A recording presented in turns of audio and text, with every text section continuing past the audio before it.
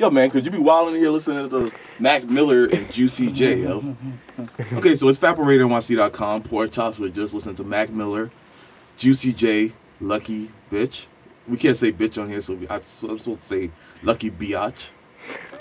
Sometimes, you think? Do you think the word biatch is is like you know, is timeless? I, I don't think you can say either way. Biatch. I, I don't think you, anybody should. You say gotta come closer. Um, biatch, bitch. Doesn't sound right coming out from Cr- Yeah, I Chris don't Frost. I, I don't think I can. I think that. you could only get away with it like maybe in the West Coast. I think I've said bitch maybe three times, and that was like in the last two months. Okay, so you're against cursing. Nah, I, I don't know. It's just like if you call like that's like a word like you fucking. Oh, can I do that? That's okay. Yeah, might as well, cause you almost You fish. you blubbing bitch like like that's just that's really hurtful. you know? Yeah, it is hurtful. to anybody, any gender. Like that's fighting words. Yeah, it is. So I don't know. So that's definitely a fight on your block. non-confrontation. I don't know, man. Okay, so we have Chris Faust. Yeah. I'm saying your name right. I used Yes. to call you Chris Faust. You can say that too. Faust is cool. Faust, Faust. But that's not your original rapping name. Your original rapping name was Print at a point in time. Yeah, it was print. And I saw there was a video that you were explaining the the reason for the name change. It was very interesting. Can you can you Um, just give an explanation about that? It was just like at that particular time. Um, I think on the music level, on the music level, all of the, uh, uh, I guess, artists that I was around, you know, that that wasn't the person that I was trying to portray. You know, initially, you know, Print was just a, a pseudonym that I picked up just because uh, something that my father told me. You know, it's, it's it's the whole thing is blueprint, but it was just Print for short. And um, it was just like anything that's true in life is always in black and white. It's always in the print. So I kind of ran with that, but then uh, as the you know as my career went on and you know things started picking up, um, I felt like print he really couldn't go to that next level. You know he became you know kind of saturated in this kind of like uh, uh, super I guess um rapidy rap if you want to call it like Mhm. like like section. That's not who I, I was. That's not who I wanted to be. Okay, and since you actually changed your name to Chris Faust, you dropped three re- three releases. You have Comic Books Unlimited, Yeah, then you have Faust, Yes. and now you just have Villains, issue one. yeah. So there's gonna be three versions.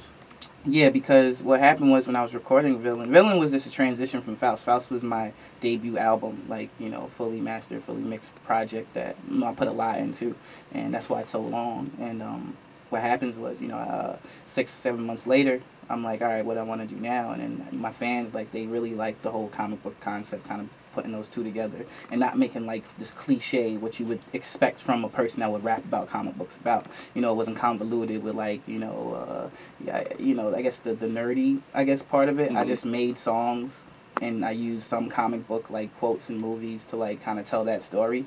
So I recorded like 30 records or so Yeah. and uh, my manager and a lot of friends they, they tell me like yo you give out so much music so I, I split it up into three projects instead of Mm-hmm. instead of one so Because on Comic Books Unlimited, you, every character, every feature that you had on there was Yeah. uh, a superhero. Or whatever. yeah So villain is also so Yeah. you're gonna be an evil villain. This They're- everybody's on the project that they're villains you know So who, which villain are you on? on I'm, uh, I'm Dr. Faust Dr. Faustus uh, ironically I Mhm. didn't even know he was a character until like I started doing research and so since you're a big comic book guy, like what is your favorite comic book? um wow I'm I'm really just a fan of like DC like in general No Marvel.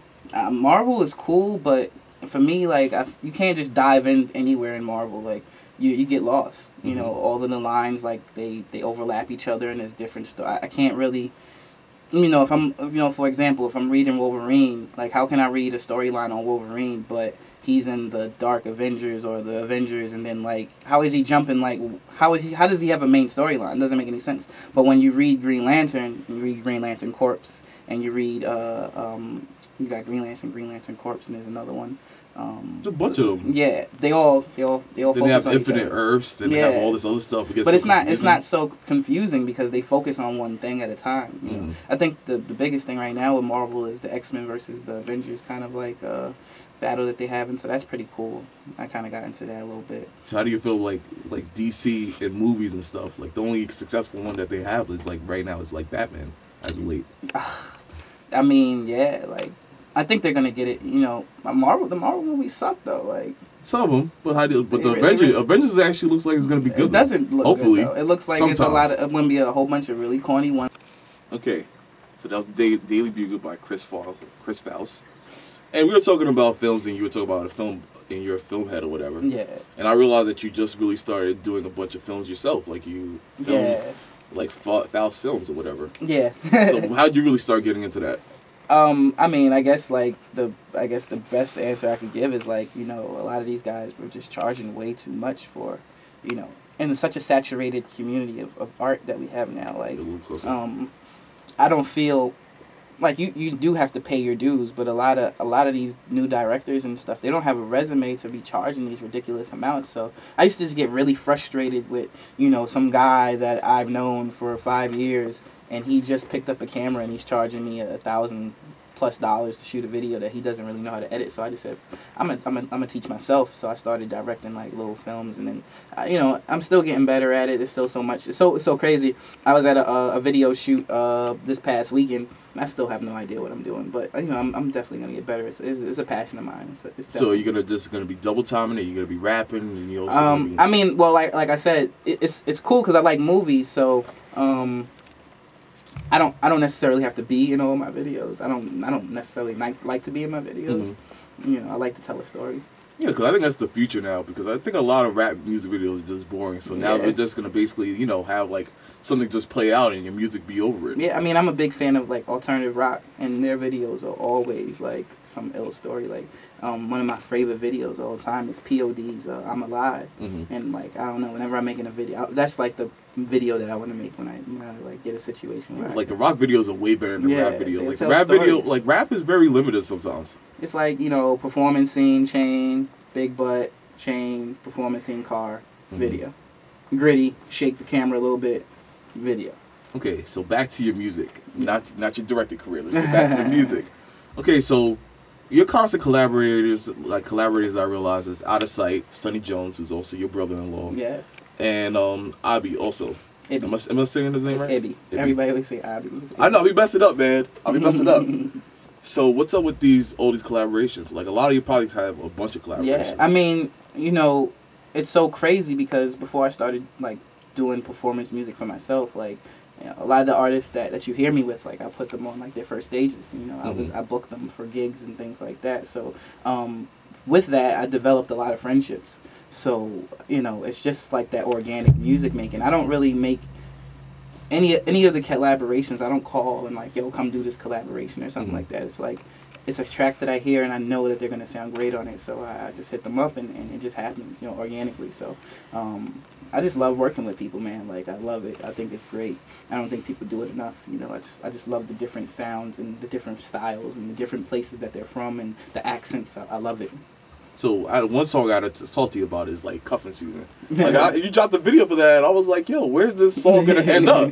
it's, I- it's yo, that song was I yo, me and Coco was just in the studio chilling, and she was like, yo, you want to do a record? I was like, I don't, I don't have n- nothing better to do, so we threw we played some beats, and then like she started doing like this Billie Holiday kind of like melody, like to the to the cuffing season uh, instrumental, and I was like, yeah, that's it right there, let's rock out, and we just did it that same day, and um we just didn't do it, we just put it in tuck, it wasn't like for no reason, and then like I had did some visuals.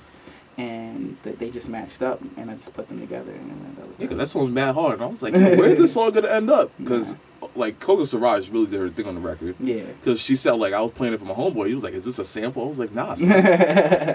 and you guys really work really good together. yeah, So I gotta put you on the spot, yo, because I think at Sato's Party House, like when I first saw you do a performance with your band, Good Day Good Night, I think Yeah. you did a song called Extraordinary. Ma- I can't Oh find it. yeah, that's because um I'm working on my next album now. Um, like I said, I record. I'm like, I I want to be like Pac as far as like recording is concerned, where it's like there's so much material that's just around. You know, you have so much to pick from. So that record was supposedly supposed to be the um the first single to Faust. Yeah. And then like um we didn't finish the uh, the mixing and the production on it, so we just kind of left it in the cut, and then we finished it, and it was too late. So it's still there. It'll come out on one of these think you're a jerk, man. You just be previewing the songs, I and do. I'm like, where is this song gonna end up? I do, but I, I I love it. I love the fact that people you know pay attention. So I respect that. Like you know, cats like oh you know I was always you know what I used to remember albums where.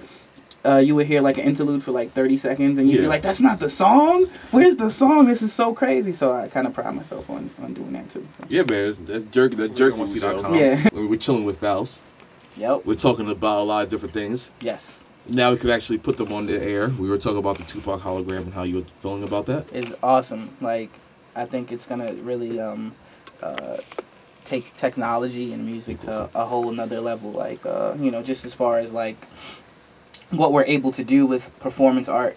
You know think about the future. Maybe we'll have panels in our house where we could watch concerts or you know like in, in total 3D you know real life imagery. That'd be that'd be crazy. So there's gonna be a Chris Faust hologram very soon.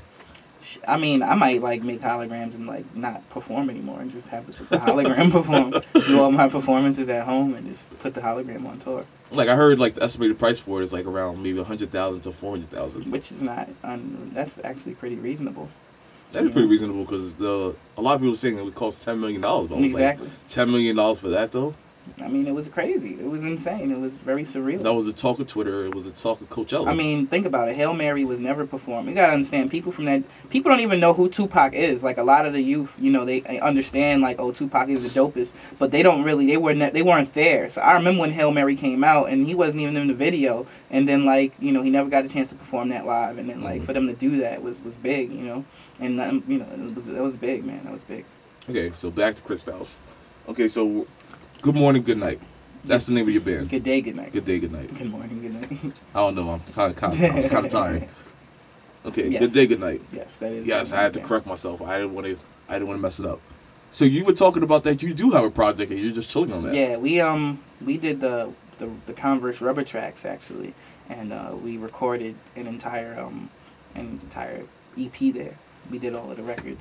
So these are this is a live album. Yes, all live. Everything's live, and it's so crazy because while I was recording it, the whole Nike was having a meeting, and the whole Nike staff came in because we were like um, tracking out records, and they was like, "Yo, this is dope." So the senior president of, of Nike like hit me up on an email to like maybe do something. So that that should be cool. That should be something to do. That's great. You actually just were on one of the Park with with Stalley. So how was that yeah, experience? no, that was dope, man. Like you know, he called me out. Shouts to BCG, MMG. Um, and uh, he was like, you know, he's gonna be premiering a new record on um, everything new off his Savage Journey to American Dream. Everybody copped that. Actually, it's pretty dope. And um, you know, he was just there kicking it. He, he rocked, and it was dope, man. I got to meet uh, uh, Rocsi and Terrence and Taraji. You know, Mhm. from uh, and you were saying Think Like Taraji was actually pretty Yeah, she's- flawless. She's, pretty hot. Uh, I don't know about the the picture, but you know, in person, she's she's really pretty, man. She's a really nice woman too. So Faust. So if you were looking for a label, like looking for a label, I'll, you'll see. Watch. I put this. I put this on my mom. I'm gonna meet Kerry Washington. If I don't, I'm gonna, I'm gonna take on a date. We're gonna eat. I'm gonna have conversation. I don't even want to do anything with Kerry. Wa- I just want to like breathe her air.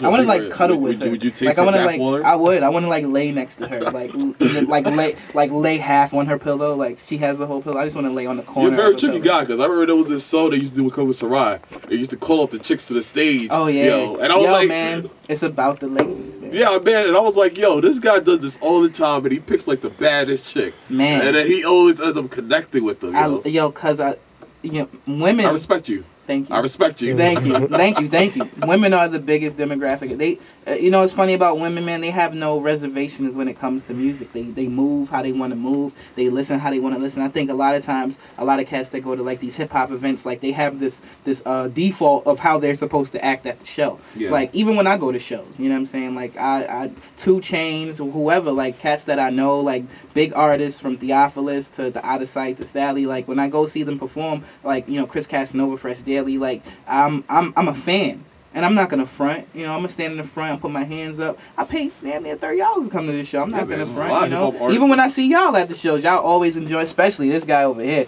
He's always enjoying the show, man. Like I remember one time he put the camera down. He's supposed to be taping. He was into the Yo, show. I hate Charles for that, yo. We be, we be having to do press for events. This guy Charles enjoys this too much. Put the Yeah, camera down. You I'm know like, what? You are gotta doing? you gotta enjoy. It's music, man. Like this is our soul. This is what you're getting out. When you press though, you gotta. You Oh gotta yeah, definitely. When footage, you press, though. you gotta do your job. So you never get. Like imagine we went to you're, the pro- you're you're working just like we're working. You're performing just like we're performing. You gotta work. Okay, definitely, it was good to nice to have this conversation and this radio interview. Yes. So definitely, when you got something new, which is probably gonna be villain. Yeah, issue villain. two. Uh, issue two, issue two of three, May first.